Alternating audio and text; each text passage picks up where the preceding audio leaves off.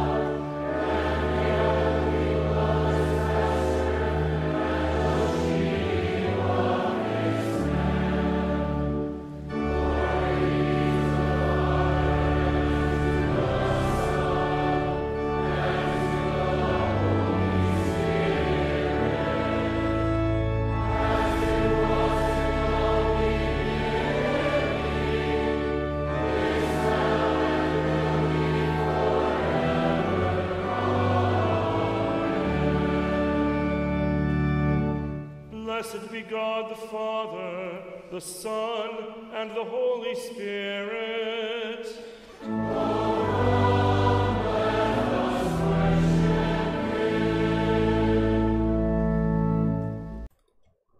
Let us join in our psalm for the day. He fulfills the desire of those who fear him. He also hears their cry and saves them. I will extol you, my God and King, and bless your name forever and ever. Every day I will bless you and praise your name forever and ever. Great is the Lord, and greatly to be praised, and his greatness is unsearchable. One generation shall commend your works to another, and shall declare your mighty acts. On the glorious splendor of your majesty, and on the wondrous work, your wondrous works, I will meditate. They shall speak of the might of your awesome deeds, and I will declare your greatness. They shall pour forth the fame of your abundant goodness, and shall sing aloud of your righteousness. The Lord is gracious and merciful, slow to anger, and abounding in steadfast love. The Lord is good to all, and his mercy is over all that he has made. All your works shall give thanks to you, O Lord, and all your saints shall bless you. They shall speak of the glory of your kingdom, and tell of your power. To make known to the children of man your mighty deeds, and the glorious splendor of your kingdom. Your kingdom is an everlasting kingdom, and your dominion endures throughout all generations. The The Lord- Lord is faithful in all his words and kind in all his works. The Lord upholds all who are falling, and raises up all who are bowed down. Glory be to the, to the Father, and, to the Son, and to the Holy Spirit, as it was in the beginning, is now, and will be forever. Amen. He fulfills the desire of those who fear him. He also hears their cry and saves them. A reading from Zechariah, the ninth chapter. Rejoice greatly, O daughter of Zion. Shout aloud, O daughter of Jerusalem. Behold, your king is coming to you. Righteous and having salvation is he, humble and mounted on a donkey, on a colt, the foal of a donkey. I will cut off the cherubim from Ephraim, and the war horse from Jerusalem, and the battle bow shall be cut off, and he shall speak peace to the nations. His rule shall be from sea to sea, and from the river to the ends of the earth. As for you also, because of the blood of my covenant with you, I will set your prisoners free from the waterless pit. Return to your stronghold, O prisoners of hope. Today I declare that I will restore to you double. O Lord, have mercy on us. Thanks be to God. Oh, the, depth of the riches and wisdom and knowledge of God! How unsearchable are his judgments, and how inscrutable his ways! For from him, and through him, and to him are all things. To him be glory forever. Amen. A reading from Romans, the seventh chapter. For we know that the law is spiritual, but I am of the flesh, sold under sin. For I do not understand my own actions. For I do not do what I want, but I do the very thing I hate. Now, if I do what I do not want, I agree with the law that it is good. So now it is no longer I who do it, but sin that dwells within me. For I know that nothing good dwells in me, that is, in my flesh. For I have the desire to do what is right, but not the ability to carry it out. For I do not do the good I want, but the evil I do not want is what I keep on doing. Now, if I do what I do not want, it is no longer I who do it, but sin that dwells within me. So I find it to be a law that when I want to do right, evil lies close at hand.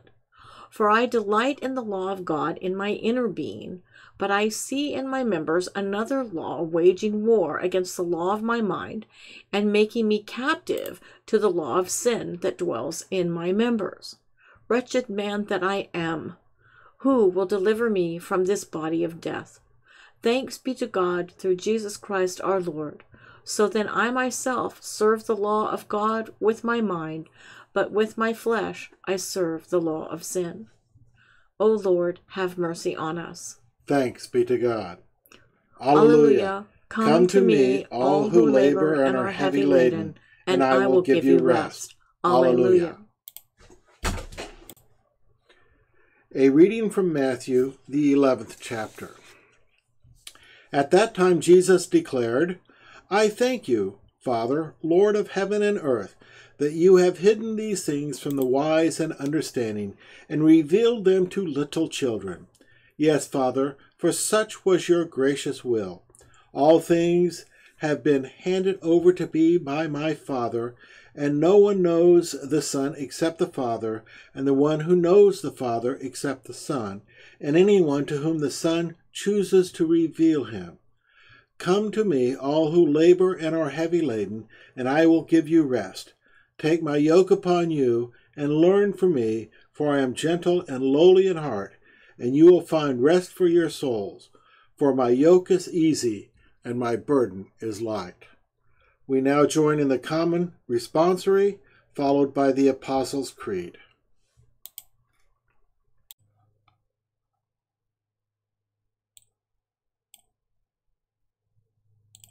Forever, O Lord, your word is firmly set in the heavens. Lord, I love the habitation of your house, and the place where your glory dwells. Blessed are those who hear the word of God and keep it. Lord, I love the habitation of your house, and the place where your glory dwells. Glory be to the Father and to the Son and to the Holy Spirit.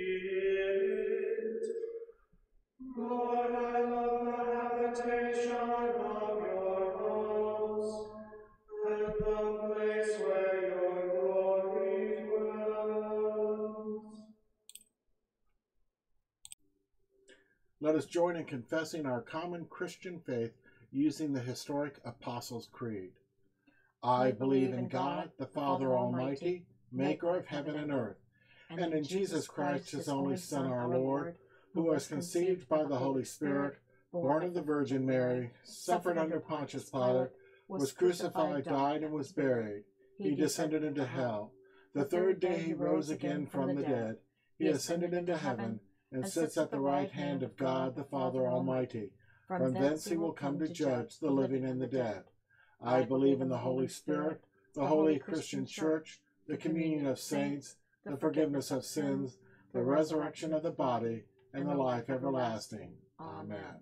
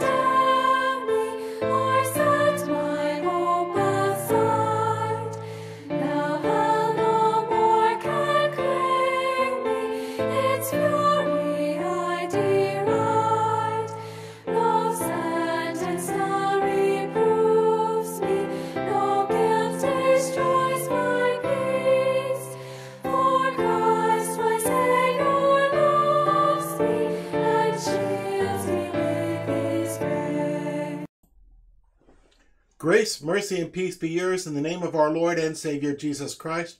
Amen. The text for today's message is taken from our Old Testament lesson. I read again Zechariah 9, verse 11.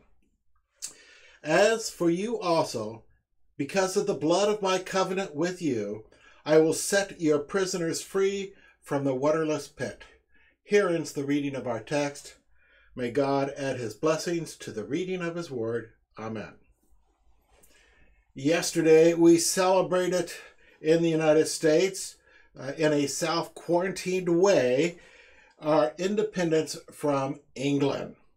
The 4th of July is an important national holiday in the USA. In the past, communities held Independence Day parades. Businesses across the nation were closed. Churches were often filled with hymns themed around Thanksgiving for our country and our land, like God bless our native land. People across the nation gathered in their backyards for barbecues and to watch firework displays. Yes, even even the towns were decorated in red, white, and blue. This has been a big and fun day in the United States.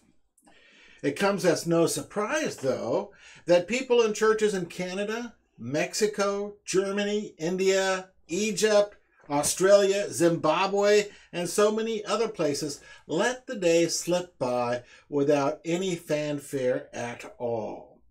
It is, after all, an American holiday. It isn't like Christmas or Easter, which is celebrated by all Christians around the world. As thankful as we are to the good Lord for our nation, for our freedom from uh, from freedom from human tyranny, as our forefathers described the uh, government and the ruling of Britain at the time, it is a it is small potatoes compared to the freedom we have been given in Christ. The freedom we have received by Christ is freedom from the tyranny of sin, death, and the power of the devil. This is a freedom spoken of in all of our appointed lessons for today. First, to be set free, one must be held captive. All people, whether American or some other nationality, are born slaves to the unholy triumvirate of sin, death, and the devil. Scripture uses numerous synonyms for these prison guards. For example, our inborn sin is sometimes called our old man or our sinful Adam, and so on. Death is sometimes presented in temporal terms and sometimes in eternal terms. The devil is our ancient foe. In one of Jesus' parables, he is depicted as a, a, flock of birds that fly in and pluck up the seed of the word of God from our hearts. He is the great deceiver who presents righteousness as sin and sin as righteousness. He twists the good gifts of God into horrible masquerades of themselves. In today's sermon text, Zechariah wrote, I will set your prisoners free from the waterless pit. The waterless pit is just another way of talking about hell. That waterless pit is what we need to be set free from. It is this eternal death that we are freed from, and that freedom is the cause of all the rejoicing mentioned in our Old Testament reading. Because Jesus because of Jesus, we are no longer destined for hell. Paul, in our epistle lesson, speaks about how he was held captive to his old sinful nature, his inborn sinfulness. He shouts, though, Thanks be to God through Jesus Christ our Lord, because he has been delivered from his old Adam, and by the that was done by the atoning work of Jesus. In our gospel lesson, Jesus uh, says, Come to me, all who labor and are heavy laden, and I will give you rest. This is a description of all humanity, as all who labor and are heavy, uh, heavy laden are dis- fitting a description of slaves, slaves to that unholy three again. Uh, we are held captive by our spiritual oppressors. But Jesus goes on to say that he will give us rest, which means he has set us free from our spiritual oppressors. So, let us take a moment today to consider what our readings tell us about this great freedom that Jesus has achieved for us. First, we need to understand that this spiritual freedom is a freedom from condemnation. We are free from the condemnation of the law due to our sins, for we but we still continue to be sinners. So it's not a promise that in this life we're going to become sinless. It's not a promise that in this life we are going to be uh, free from being dogged by the devil. It's not a promise that in this life we are going to somehow be taken out of the sinful world and not have to face the temptations that that world brings. But it is a freedom from the condemnation that these things would bring upon us. Uh, this is what Paul, this struggle between our old nature and our new nature, is what Paul is writing about in our epistle lesson. Our struggle against sin every day of our lives remains very real. But Paul teaches us that through the waters of baptism, God creates in us a new man, a new nature, a new Adam, which is pure and sinless. That's right. Our new nature has no sin, is never tempted. All temptation that comes to us is attacking us through our old nature, our sinful nature. Our old man, our sinful nature, though, was killed through the waters of baptism. God creates in us a new man, a new nature, a new Adam, which is pure and sinless. Our old man, our sinful nature, was killed and buried in baptism. So Paul wrote in Romans 6 Do you not know that all of us who have been baptized into Christ Jesus were baptized into his death?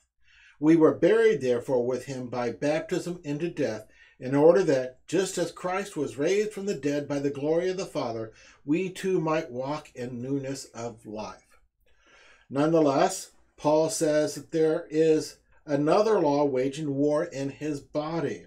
It is a war between our old Adam and our new man, created in us through baptism. Our complete freedom from our old Adam, a freedom where he never again tempts us with the ways of the devil in the world, must wait until we enter eternity and dwell with Jesus and all the saints. However, our new nature, as I said, is already pure and desires to do what is right in the eyes of God. Thus, we have within us a war. But thanks be to God, our sinful flesh has been defeated by Jesus Christ, who delivers us from our bodies of death. This is the gift he gives us through the waters of baptism. Through the sacra- that sacrament, the Spirit creates faith in us, a faith in the atoning work of Jesus. For this victory, all God's saints bless him, as our psalm recorded and reminded us. We are transferred from the kingdom of slavery into the kingdom of his marvelous light, the kingdom of God, living under him in righteousness and purity forever.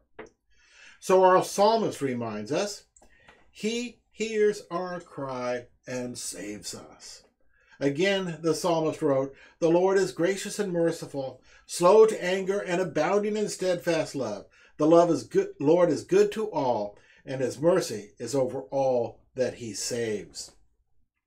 Our reading from Zechariah says, We rejoice in him, our gentle king, who comes righteous and having salvation. Zechariah reminds us, As for you also, because of the blood of my covenant with you, I set I will set your prisoners free from the waterless pit.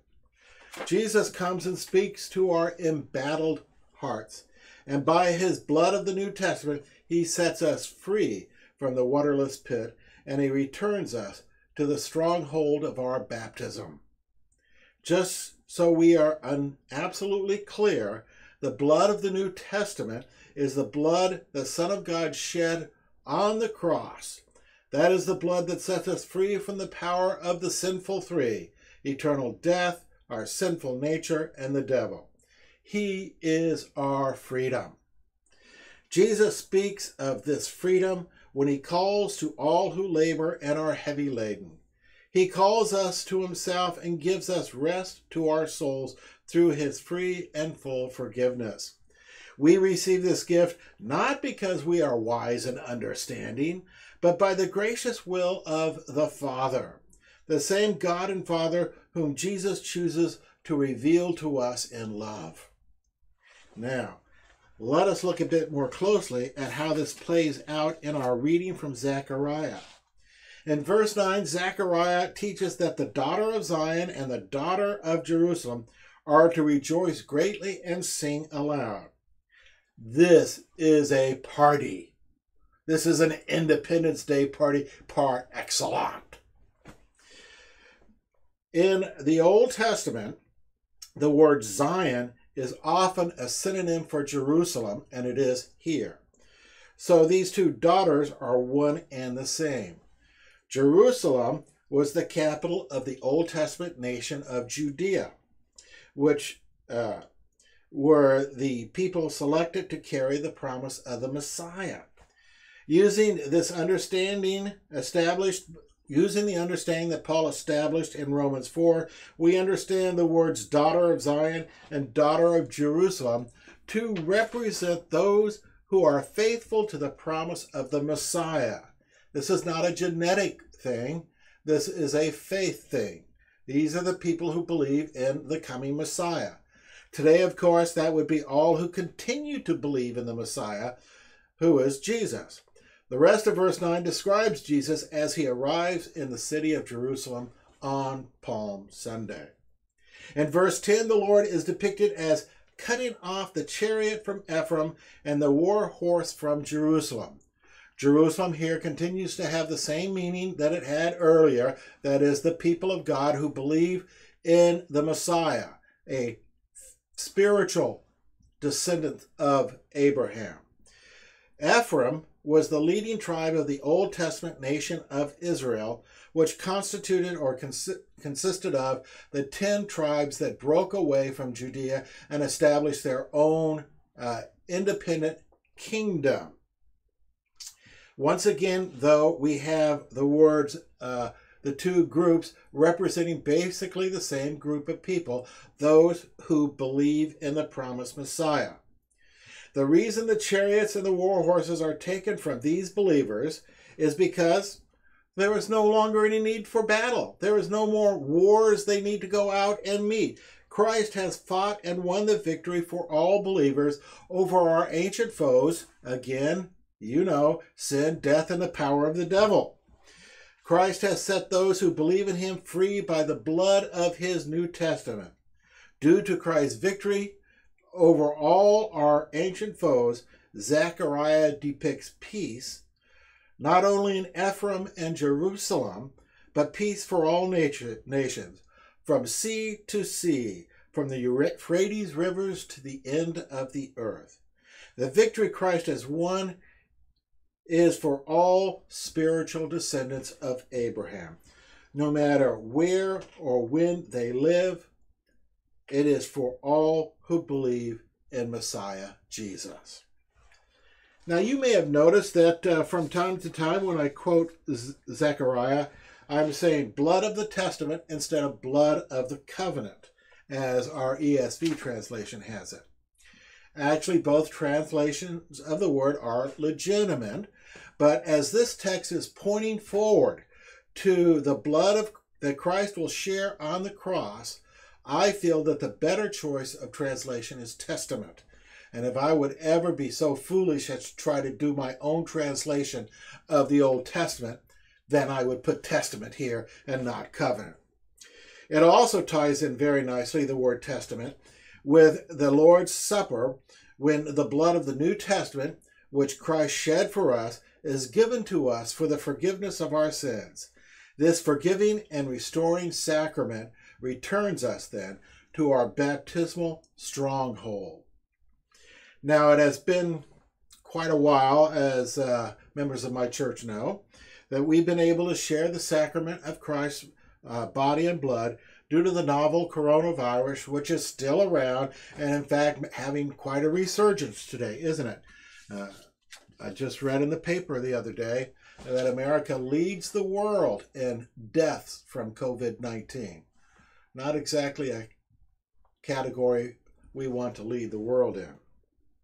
But we will have an opportunity to share the Lord's Supper on Thursday, July 16th at 7 p.m. This will be an outdoor worship service. On this day and at this time, we will have a communion worship service on the grounds of our Redeemer Lutheran Church. During this service, we will obviously be celebrating the Lord's Supper. We do not want uh, want uh, we do want to be sure huh, that we are ready for all who come. So if you're planning to come, it would be nice if you could RSVP either with an email to the church or just give us a call. That way we will know and be sure to have enough of our elements available, which are going to be individually wrapped.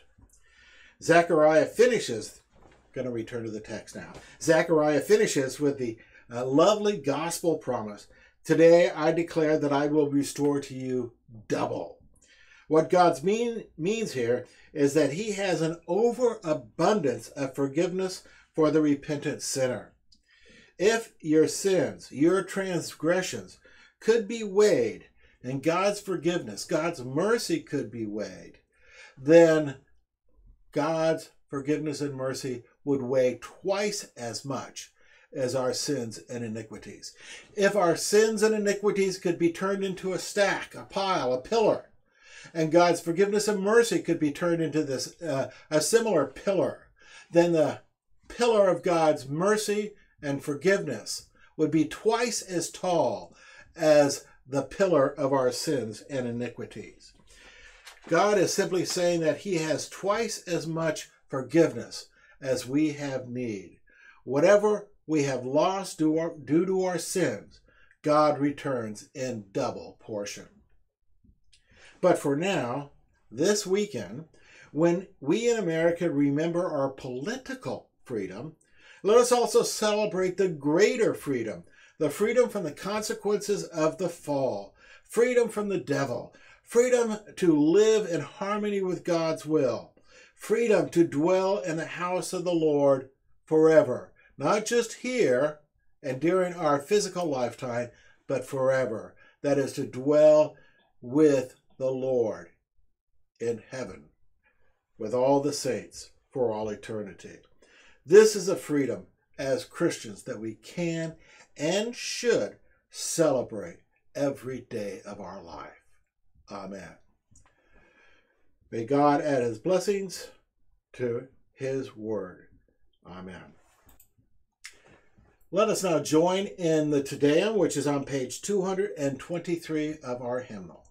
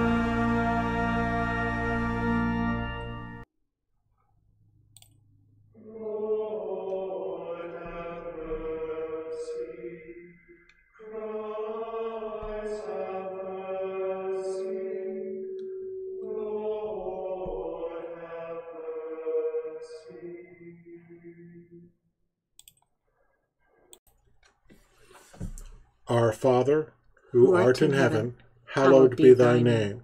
Thy kingdom come, thy will be done, on earth as it is in heaven. Give us this day our daily bread, and forgive us our trespasses, as we forgive those who trespass against us. And lead us not into temptation, but deliver us from evil. For thine is the kingdom, and the power, and the glory, forever and ever. Amen. The Lord be with you. And with your spirit. Let us pray. Gracious God, our Heavenly Father, your mercy attends us all our days. Be our strength and support amid the wearisome changes of this world, and at life's end, grant us your promised rest and the full joys of your salvation. Through Jesus Christ, your Son, our Lord, who lives and reigns with you in the Holy Spirit, one God, now and forever. Amen. Merciful Lord, hear the prayers of your people and grant to us grace sufficient for our needs and all those for whom we pray. Our God and King, as once your people received you in joy, open our hearts to rejoice in your coming, so that we may meet you in your word and sacrament, for the forgiveness of our sins and the strengthening of our faith. Help us to bless and extol your name before the nations and declare your salvation to the generations to come, proclaiming that you are merciful and gracious and abounding in steadfast love. O Lord, hear my prayer. And let my cry come to you. O merciful God and Lord, you are good to all your creation. Continue to bless your church and to provide for her faithful pastors who will preach and teach your word, and church workers who will serve us in your name. We especially remember today the Evangelical Lutheran Church of Ingria in Russia and our ministers, especially Reverend Aarre Kuukauppi, their bishop. Make bold your church's witness before the nations and help us to act in love towards our neighbors. O Lord, hear my prayer. And let my cry come to you. Our Creator and Lord, from you all things come, and to you are all things directed. Provide for our nation faithful leaders who will hear and heed your law, protect and defend the citizens, preserve the precious gift of liberty, and inspire us to use our freedom honorably. Make us mindful of the heritage of our forebears, that our forebears have given to this land, and guide us to be faithful in our stewardship of all our resources which you have provided. O Lord, hear my prayer. And let my cry come to you. Our wise and giving God, you are the God of truth, and in you there is no falsehood or deception. Help us to delight in your law, to love what is good and true and right, and to seek after these things. Help us to wage war against the old Adam within us. Restore us when we stray from your word, and forgive us when we give end to the devil and his temptations. O Lord, hear my prayer. And let my cry come to you. Our compassionate Lord, we do not suffer alone the pain and afflictions of this life, but we live them out within your grace and are sustained by your mercy. Hear us on behalf of the sick, those who suffer, the grieving, and those who mourn death, mourn, and those for whom death is near, including those we now name in our hearts.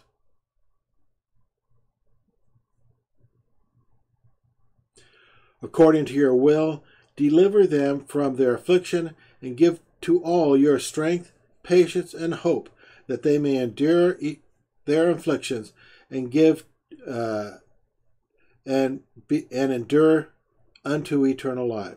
Show compassion and drive all pestilence from our land. O Lord, hear my prayer. And let my cry come to you. Our loving Father, you have hidden your greatness from our wisdom and made your ways known to children.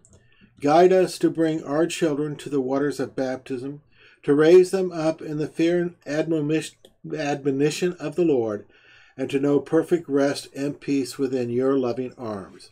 O Lord, hear my prayer. And let my cry come to you. O gentle God and Lord, you have invited us to come to you with the heavy burdens of this life, that we may find rest and peace in your mercy. Grant relief to those who struggle, supply to those in need, hope to those who fear, and peace to those who are anxious, that we may be delivered from all adversity and brought to everlasting life, where we shall join the saints of old in your presence forevermore.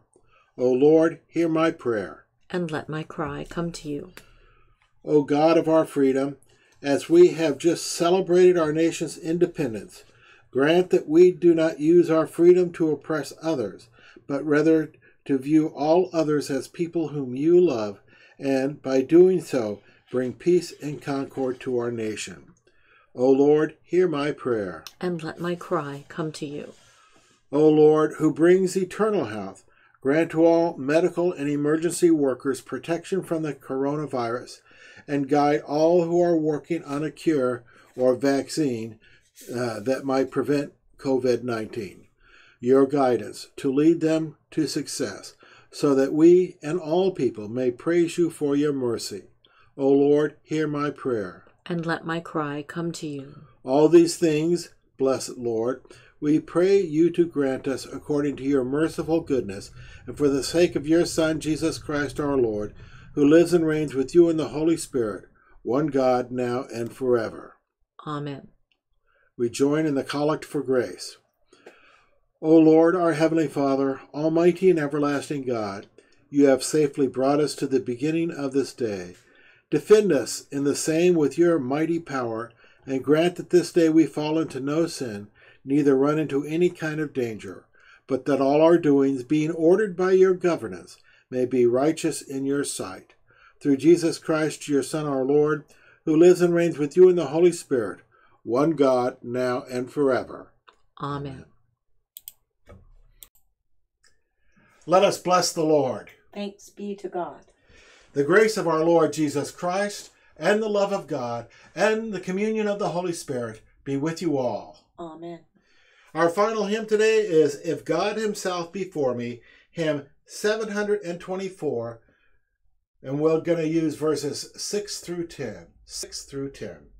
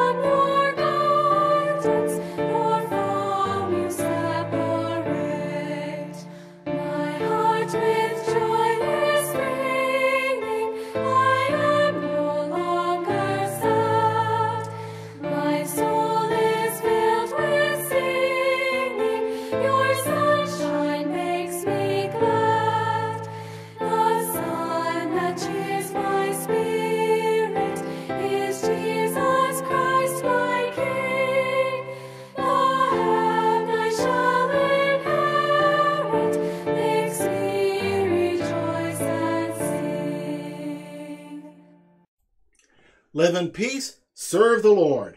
Thanks be to God. Thank you for joining us today for this hour with the Lord. Just a quick reminder on Wednesday, we have our live streamed Romans Bible study, and we're just beginning chapter 5. That begins at 7 p.m. Eastern Standard, uh, No. on Eastern Daylight Savings Time for the United States, obviously. Also, don't forget uh, July 16th at 7 p.m. We will have a outdoor communion worship service at Our Redeemer Lutheran Church. This service will not be streamed. So you're there. We're delighted. If you're not, we're sorry. But we just don't have the ability to do this sort of thing at our church yet. Have a blessed day, a rest of your 4th of July weekend. God bless you. Bye bye.